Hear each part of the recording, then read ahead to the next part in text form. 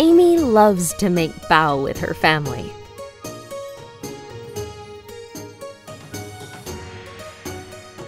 But it still takes skill to make the bao taste and look delicious.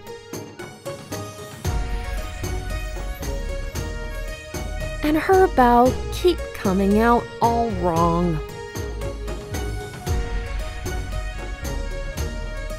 Then she has an idea that may give her a second chance.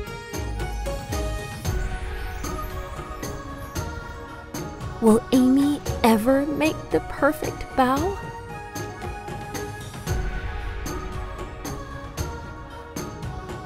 Find out in this heartwarming tale about one fearless girl and her determination.